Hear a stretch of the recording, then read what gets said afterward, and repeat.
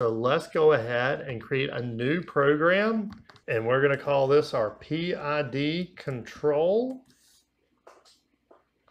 And we're going to go to controllers, micro 820, and we're using the 2080 LC20 20QWB. We'll select it and add to project. And then we're going to create a new program by right-clicking programs, add, and we're going to use a function block diagram program for this. And the other thing we need to do before we get too far along is we need to configure our Ethernet. So we're going to configure our Ethernet IP address for 192.168.110 with a subnet at 255, 255, 255, 0. Now let's go ahead and open up our program. And let's click over on our toolbox and bring down an instruction block. Now the first thing we're going to need to do is we're going to need to scale our sensor in here. Now, if you remember from the previous video, down here at rest, we were at 160 units. And up here at 12 inches, we were at 3,150 units. So we're going to need to configure that for our 0 to 12. And we're going to use an SCAL or scalar instruction to do that. Now to use the scalar, if you mouse over, it's going to tell you the data types you need. And the scalar is going to use all real numbers. But our analog input, if we actually go over here and we open up our global variables and we go down to our analog input, you'll see it's a word. So we're going to have to convert it first. And this is one thing that I think the Micro 820 just does an excellent job at is it's any to instructions, what I call it for short. But really, you can convert anything to anything in it without a lot of pain. So we're going to go to our toolbox and let's bring down another instruction block and let's type any. And that's going to bring up all of these any two things. And we want to go down here and find the any two real. Click OK. And then we're going to drag a connector from the O1 to the input of that. And now let's go and grab some variables. So we're going to drag one right there.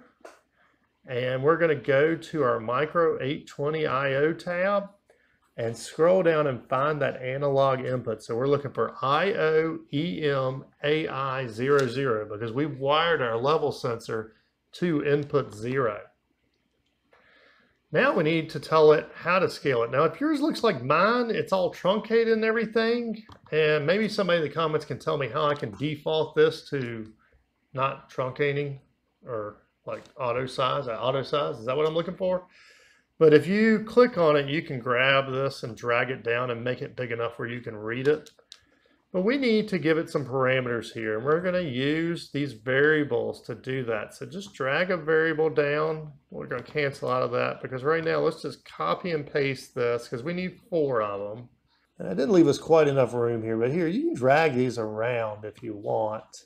And know, let's just drag this one there, and then we can drag the next one right up the side of it. And yeah, if you're really OCD, you're going to get upset with my function blocks because yeah, just not always that graceful at dragging them out. Our input minimum and our input max are those raw numbers that we noted, that 160 and 3150. Now we don't actually have to create variables for these we can put them right into here. So if I put 160, and I remember to designate that it's a real number by putting 0.1, then that will work. Now, what will not work is it's the next one. If we put 31 to 50, that's not going to work because it's going to look at 3150 as a double integer. And this is requiring real numbers. So we need to put 3150.0. And now our output min and max, I want zero to be here and I want 12 inches to be up here. So we are going to put in 0, 0.0 and we're going to put in 12.0. And now let's copy and paste this variable one more time for our output over here. And this one we are going to create a variable for. We're going to call this one our actual position and it will need to be a real. So that will scale our analog from 0 to 12. So next, let's go ahead and add our PID instruction. So we're going to go to Toolbox, and we're going to drag another instruction block down. We're just going to start typing PID, and there's going to be two that come up. You're going to get your iPID controller, and you're going to get your basic PID. Now in a later video, we'll actually do the basic PID instruction, but the iPID is what we're going to be doing in this video. So we're going to bring it in. And again, everything on mine is truncated. So let's drag this out so we can read everything. The first one is the process. And I'm going to skip over that one and actually come back to it because it ties in with this output. And we need to make sure we understand that one. And the next one is the set point. So that one we do need a variable for because the set point is going to be where do we want our PID at? In other words, do we want it here at six inches, eight inches? We need to tell the PID what it needs to be. So we're going to bring a variable down. And if you get it in line close enough at that set point, then it'll actually draw the little line for you. It works about half the time for me because, yeah, my fingers just aren't that coordinated. We're going to put in position set point. And that is going to be a real. And next we have our feedback. Well, our feedback is our actual position. So we can actually highlight this, copy, paste, and then we can drag it right down here so our next one is going to be auto. Now I'll occasionally mouse over this because I can see here auto needs to be a boolean type tag. So I'm just going to copy and paste this one, bring it down, and we're going to open this up and we're going to create a PID auto. And that is going to be boolean. And we'll just copy and paste it again. And this one is going to be PID initialize. That will also be Boolean. Now our gains are going to be gain PID as a data type. So we're going to copy and paste that. And this time we're going to put in PID gain values. And that is going to be a gain PID. Select it. Then our auto tune is Boolean. So we'll copy and paste again, drag it down, and this will be PID auto tune, and that is Boolean. And then let's paste that one more time for our AT parameters. And that's going to be a data type of AT param. And that's our parameters for our auto tune. So PID auto tune parameters. So that will be an AT param. Occasionally you'll see them like here, it looks like it's blank and it's not blank. And maybe, like I said, maybe somebody can, I'm ha I've had some issues with my function block displays. Maybe somebody can help me out with this. But yeah, what the issue is it's too narrow. So if I drag that out, also it'll show. And you can see the bottom miner truncated. Now we're to our output side of this. And let's go ahead and hit the easy ones. We have absolute error, we have AT warnings, and we have output gain. And those are going to be a real, a DINT, and a gain PID. So let's go ahead and do those. We'll skip this output for now. So we'll just copy and paste one of our parameters again, or you can go right over here to the toolbox and you can drag it down again. And we're gonna call this our PID absolute error, and it's gonna be a real. Then we have our AT warning, which is a double integer. So we'll copy and paste this down. And this is going to be our PID AT warning. And it was a double integer. And then let's paste one more time. And these output gains were a gain PID. So let's put in PID output gains, and that will be a gain PID. That takes care of everything except our output and process. And I wanted to wait till the end on those because they're a little bit different than our Studio 5000 and our RS Logix 500 PID in that they require you add an external limit to prevent them from winding up or you know to prevent them you know our scale our output is 0 to 4008 that's 10 volt. To keep us from ending up at 4 billion numbers where it takes forever to come back down. That's what we're going to be doing here. I just wanted to make sure we understood why. So first we're going to need our limit instruction. So let's just click an instruction block and bring it down.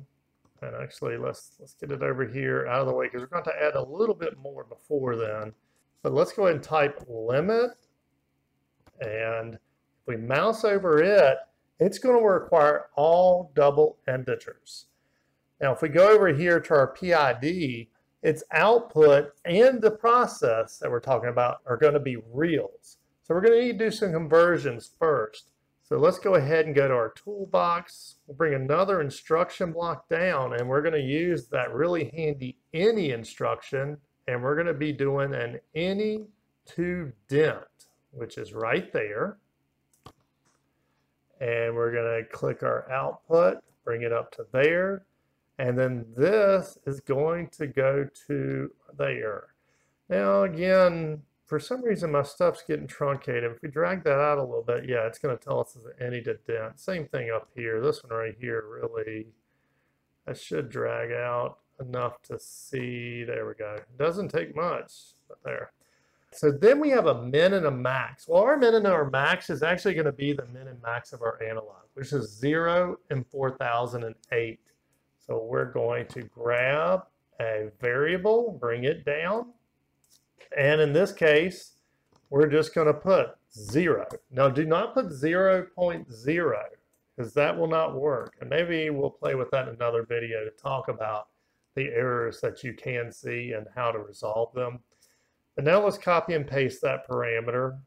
And let's bring it, oh, I didn't make myself enough room. So let's drag that out.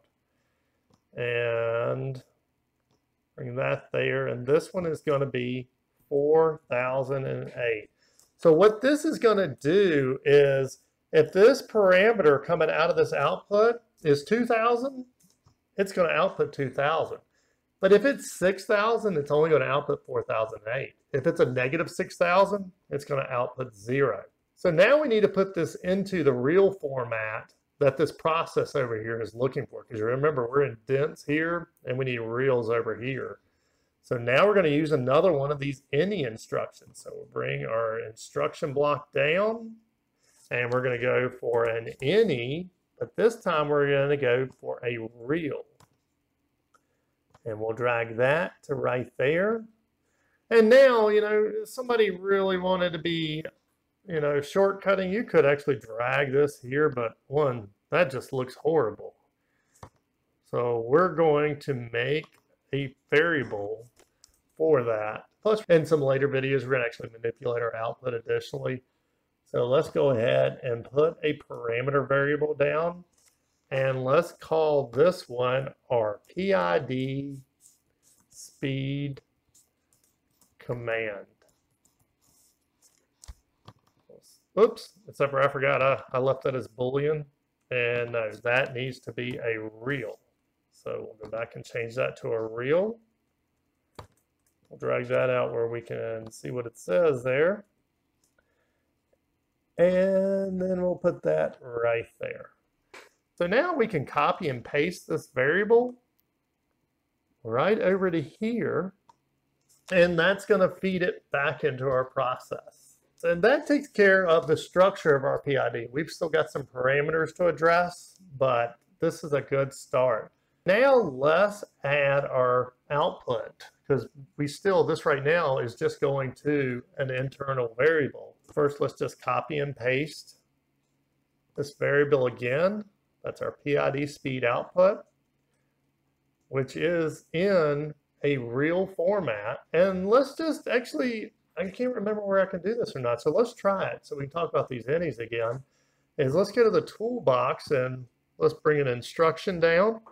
And we're going to use a move instruction. We're going to go over to our I.O. tab now. And we're going to go to this analog output right here. In fact, let's go and label that. This is going to be our fan speed. And we'll click it. And let's go ahead and build this just to make sure there's no errors. Oh, and okay, it did not like that. I was wondering if it would. So what it's saying right there is these do have to match. And that's so I was just curious. So what we're going to do is we're going to delete this little bit here out. We'll drag that over. And we're going to put in another one of those any commands right there. And this will be any two word because we'll need a word to make this work.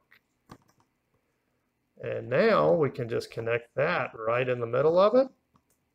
And we'll hit our build button again and everything is great now. So that's just a really cool feature is that any function. Okay, let's go ahead and download our program. And if you need any help downloading your program, either through the Ethernet IP driver or the Ethernet devices driver or serially, then look in the description. We've got videos on all of that.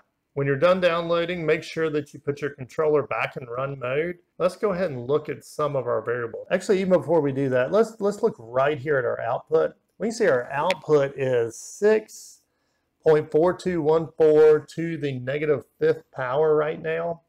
But when we go through our limit, we're putting up an output of zero. And that's what that is for, to keep those windups from happening. And then in a later video, we're going to talk more about integral windup. In this case, this particular one, just you have to do it. So that's why we kind of had to address it now. So if you have any questions about that, just hang tight. Let's go to our local variables and let's have a look at our gains to start with because we're going to need to put some values in here. In fact, okay, it puts in a very, very small value by default. And I, I can't imagine this, I don't know, maybe in an hour with these values, it might get somewhere. I don't really know. But really, let's just start, just really, we're going to start by throwing something in there and seeing how it does. We're going to put 10 for a proportional and for our integral, we're going to put 0.1. And really, that's just a guess. I mean, you got to have something to get the thing started moving. And, you know, over time, you probably will find some values that work pretty good for your applications. Next, we have this auto and this initialize. And we're going to need to check both of those to get this thing going. Now, we're not actually going yet, one, because I need to turn the trainer on. We're sitting still right now. But right now we need to put this position set point in right here. And actually I'm going to go back to our function block diagram to do this, just so you can see everything that happens when you do it. Right now we are putting a little bit of an output out and not really sure why. Oh, because we got a slightly negative position. So it's trying to put, it actually is trying to push that ball up a little bit, but it's a very minute amount. But now we're going to put our set point here. We're going to change it to 6 for six inches. And immediately the ball comes to life, it raises up, and actually I'm pretty impressed.